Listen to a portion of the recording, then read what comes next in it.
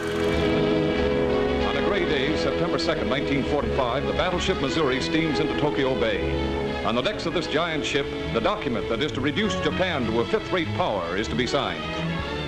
Now General Douglas MacArthur appears, accompanied by high-ranking officers of the United States Army. We are gathered here, representatives of the major warring powers, to conclude a solemn agreement whereby peace may be restored. Hesitant and nervous, Shigemitsu signs the obituary to 2,605 years of an unbroken dynasty, during which no foreign troops had occupied Japanese soil.